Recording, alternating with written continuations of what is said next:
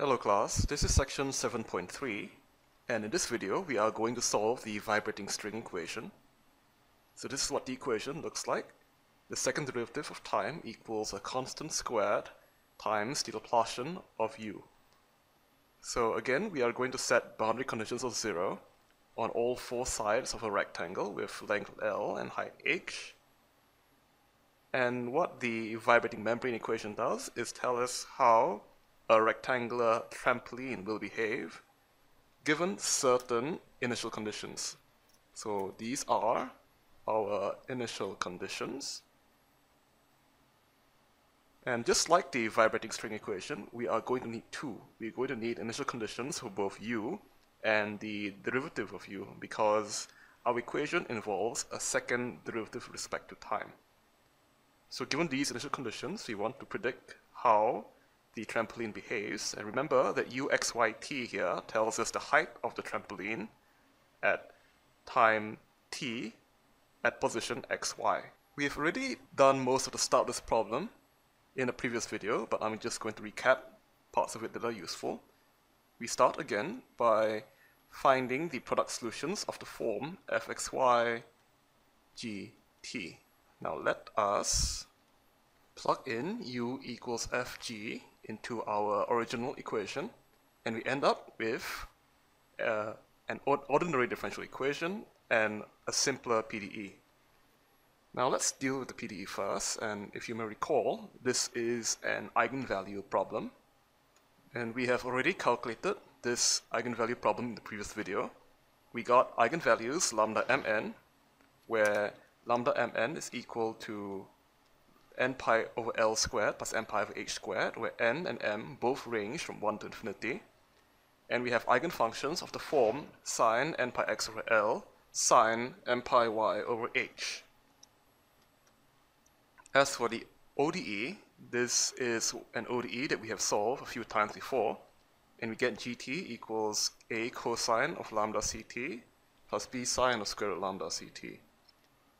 And since we know how to solve both 1 and 2, we know what the product solutions of u are.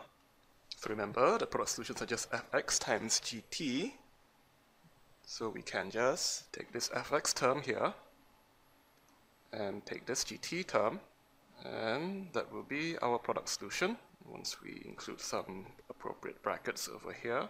And now we want to figure out how to write down every possible solution. Well, let me, sorry, before we do that, this is our product solution umn. So again, um, m and n ranging from 1 to infinity. And let's label the a's and b's as well. amn, bmn. Okay, in that case, solutions of the vibrating membrane equation can be written as a sum of these product solutions. And there you have it you have this really nasty double sum because again we are summing through both m and n. And just like in the vibrating string case and all the one-dimensional PDEs that we had solved in the past, we are going to want to be able to calculate AMN and BMN. Uh, let me just remember that this is a UXYT. We have the initial conditions, HXY and KXY. So let's try to use those so we know that the initial condition for uxy at time 0 is hxy. And let's plug that in here, and what we have. So we have uxy 0. So it turns out that cosine, when you plug in t equals 0, cosine becomes 1, and sine becomes 0. So we can just take the first part of this formula and just slip that in over here and change this cosine c0 thing to 1. Cosine of 0 is 1 after all. And sine of 0 is 0, so we can ignore the bn part. But we also know that uxy0 equals to hxy. That is by definition. But we know that hxy has a double Fourier series. We did a whole study on that. So hxy is equal to this double Fourier series, sum m from 1 to infinity and 1 to infinity um, we're going to call this alpha mn sine n pi x over L sine m pi y over h. And we know that this is equal to what we had in the beginning, so let's just copy and paste that. And there you go. Now you may notice that the left and right side of this equation looks exactly the same except one side has alphas and the other side has a's. So it stands to reason that amn is actually equal to alpha mn. But we know what alpha mn is from the Fourier series, Fourier double series video we did just now. And we got 4 over hl integral from 0 to L and from 0 to h, hxy, sine n pi y over h dy times sine n pi x over L dx. So let's calculate uh, BMN in the same way. And let's use another color this time. It's getting a bit oppressive here. So we need to differentiate this nasty equation first. And we have, when we try to differentiate this respect to t, oh, and the reason we are differentiating respect to t is that our initial condition here says that the first derivative of u respect to t equals kxy, and we're going to try to use that. To differentiate respect to t. The sine term here and the sine term here remain the same since they are functions of x and y, but the last term needs to be differentiated. So when we differentiate cosine, we get minus sine, but also the constants have to come out. So you have the root lambda mn is a constant and the c is a constant. So these come out, mn times c. The same thing here, we have to differentiate the second term. The x and the y terms don't matter, don't change at all. The sine, when we differentiate it, changes to cosine. And by the product rule, we have to remove the uh, constant terms from inside this cosine function. We get root lambda mn times c. So again, well, we are going to try to plug in t equals 0 to use our initial condition for the first derivative of u. Oh, um, this should be a bm, of course, by mistake. And then we do that once more. The cosine term becomes 1, and the sine term becomes 0. So the first term just entirely disappears. This is 0. And we get, copy and paste this, just the bn terms.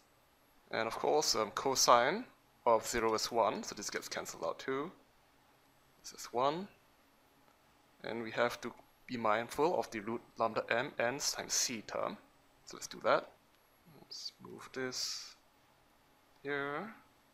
So we have room for this root lambda n over c term. But again, the first derivative of uxy 0 is equal to kxy by our second initial condition. So let's call this kxy. And this is going to be equal to its Fourier sine doubles Fourier sine series. So again, m equals 1 to infinity, n equals 1 to infinity, times the sine n pi x over L, sine n pi y over h, times uh, beta mn, the Fourier sine series of kxy. And we set this equal to our expression over here, copy and paste. We now have, once again, that the beta mn term has to be equal to the constant term here because everything else is the same.